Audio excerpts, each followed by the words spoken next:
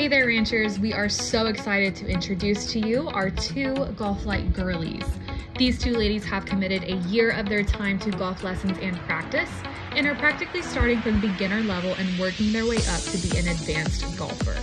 We like to define golf lite as the more social and fun side of golf and essentially stripping away the barriers of golf and making it a sport for everybody, no matter what level you are at.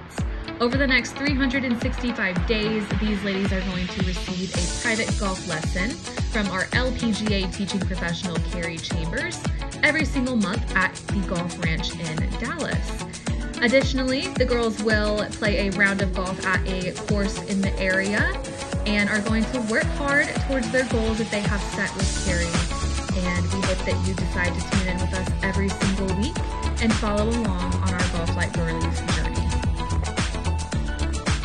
I played uh, collegiate golf. I played at Kansas State. Um, and then I moved down here in 01 and I've been teaching golf pretty much ever since.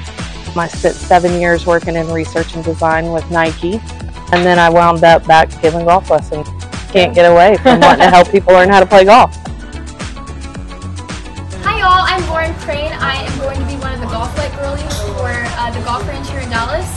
Growing up, I played softball. I actually played softball at the University of North Texas. I was a pitcher though, so I didn't actually get to swing. I really wanted to get into golf, um, but my biggest goal is to learn how to actually play in tournaments. I played like every sport growing up. My dad was a coach for football, so I Oh, okay. played soccer for 15 years. I played um, tennis a little bit. I played or I ran track in high school, um, so I did like long jump and all of that. trying to think what else. I danced all through high school and Okay. college. Very I still cool. dance now.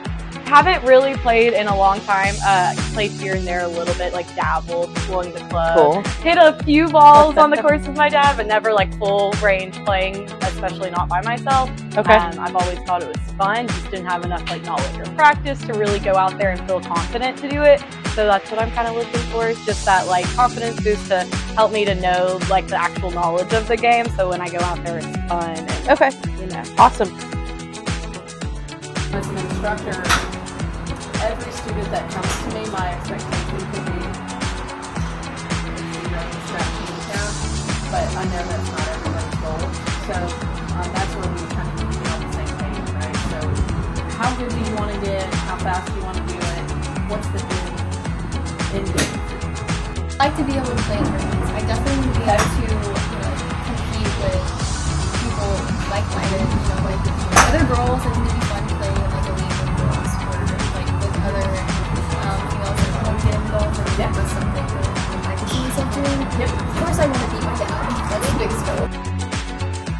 up. I think it'd be a way for me to network.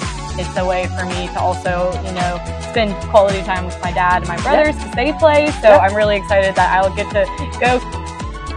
Okay, so what you're going to do for me is you're just going to make a golf swing. Don't even act like I'm here. All right? Okay. Because I want to get a before and after swing. Got it. All right. So you're going to hit a couple for me. Mm-hmm. I'm going to be back here. All right. Okay. Don't pay attention to me. So All just right. make a few swings, hit a few. Hit a If few. you- That's the goal, yeah. right? If you hit it, great. if you miss it, great too. Okay. Just act like you're with your friends. If today we set a short-term goal, um, what would that be? Practice. Yeah. Yes. So setting that initial goal of I'm going to get to the range and practice X amount of times a week